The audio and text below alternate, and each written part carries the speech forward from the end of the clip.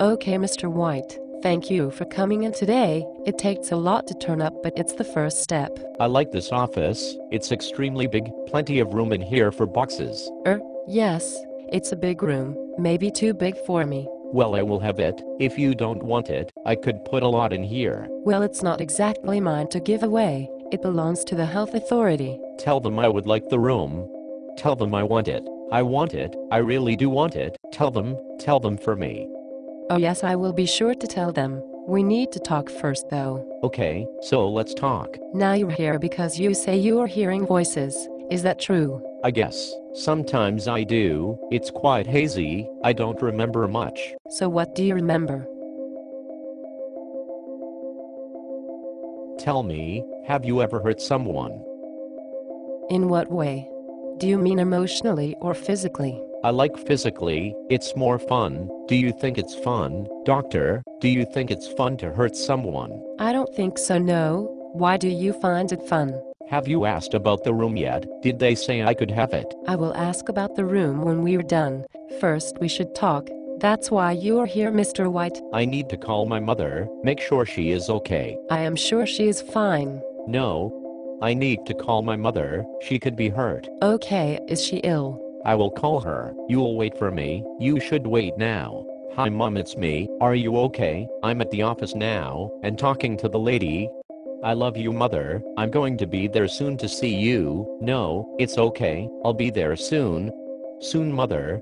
I will tidy it up. When I get back I promise. Mr. White, your mother cannot hear you. Would you like to use my phone so you can call her? My mother doesn't have a phone. It's okay. She can hear me. How can she hear you? Is she outside? Yes, she is outside. She is in the garden, the garden with the pretty flowers. Oh, you gotten her some flowers? That's really sweet of you. I guess you must really love her. Yes, I always loved her. She was the only person who ever loved me, the only one. Don't you mean only person who loves you? My mother is dead. She died four years ago, but she is still alive. In my head, she is alive. Mr. White, I am so sorry. I had no idea. Sorry? Why are you sorry? Do you have something to say sorry for? Did you cause my mother's death? No, of course not. Mr. White, you have to get over it. Speak to someone. I speak to my mother. She helps me choose. She helps me choose the bad people. What do you mean choose the bad people?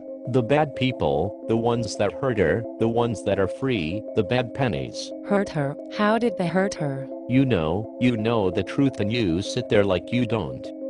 Calm down, Mr. White. I don't understand what you mean. You are a bad penny. A bad penny is what my mother calls you, ever since you told her she was okay and didn't need more medication. But I didn't treat your mother. I never treated a Mrs. White. Mrs. Holborn, do you remember Mrs. Holborn? I am not sure, Mr. White. Please calm down. Mrs. Holborn, 33 Acres Way, do you remember her? Yes, yes, now I do. Why are you asking me this? I am not allowed to discuss patients. Mrs. Holborn was my mother. But, but you are Mr. White. No, no, I'm not. Tell me, Bad Penny, do I look 47 years old to you? Well, no, you don't.